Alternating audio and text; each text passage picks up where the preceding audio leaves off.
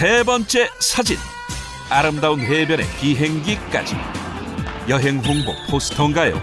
합성인 건 알지만 비행기가 너무 가까운 거 아닌가요? 네? 합성이 아니라고요? 사진이 찍힌 곳은 카리브해 북동쪽에 위치한 세인트 마틴 섬. 이곳에서는 합성 같은 사진을 매일같이 찍을 수 있다는데요.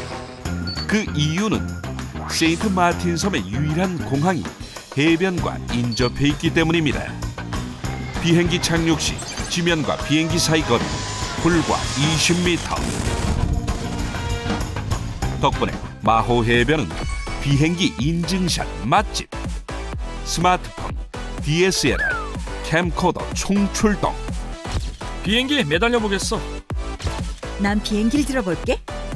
그럼 난 물속에서 사진을 찍으려는 관광객들로 문전성시를 이루는데요. 그러다 보니 이들을 위해 비행기 이착륙 시간을 적은 안내판까지 두었습니다.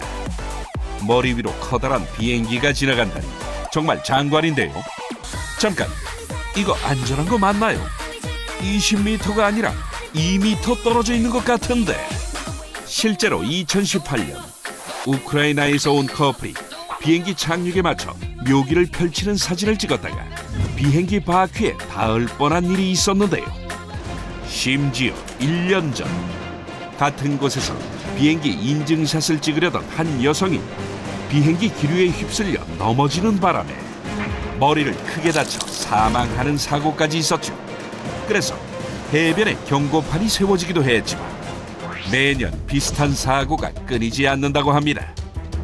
더 나아가 이번엔 해변이 아닌 공항 펜스에 코알라처럼 매달린 사람들.